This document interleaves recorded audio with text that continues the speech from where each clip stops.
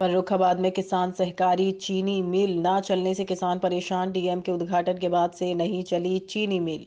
चार दिन से किसान ट्रैक्टर ट्रॉली लेकर चीनी मिल में खुले आसमान के नीचे खड़े। चीनी मिल के एमडी मिल चलाने का किसानों को नहीं दे रहे कोई जवाब। चीनी मिल के अंदर किसानों के लिए शौचालय पीने के पानी आदि की व्यवस्था नहीं है। किसान ठंडी के मौसम में गन्ना लदी ट्रैक्टर ट्रॉली को खुले आसमान के नीचे रखने को मजबूर।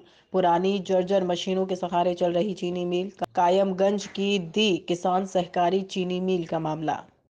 हमारा सुधीर सिंह यादव। अच्छा कहाँ रहते हैं आप?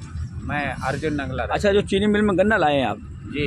अच्छा कितने दिनों हो गए लगभग खड़े हुए यहाँ पर सत्ताईस तारीख को। सर अच्छा उद्घाटन के बाद कई घंटे चली मिल? बिल्कुल नहीं चली साहब हिली तक नहीं। उसी दिन से बंद पड़ी है? बंद पड़ी। तो लगभग कितने किसान यहाँ पर हैं? किसान लमसम सत्तावन। किसान खड़े हैं कुछ का खाली हो गया वो वहाँ पे जाम गन्ना इकट्ठा कर दिया है। और बैलगाड़ी वाले भी परेशान हैं। और गाँव में ट्रालियाँ भरी खड़ी हुई हैं सत्ताईस तारीख से छब्बीस से। वो कह रहे चीनी मिल चलेगी तभी आएँगे। कम से कम यहाँ पे ढाई तीन सौ ट्राली हो जाएगी अगर सब चले आए तो। इस समय है। बहुत ज़्यादा रात कैसे काट रहे हैं आप लोग? रात बैठ के काट रहे हैं सर।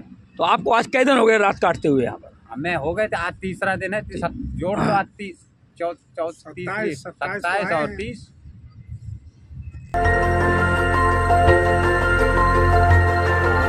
देखते रहिए डीबी भारती समाचार नज़र हर खबर पर।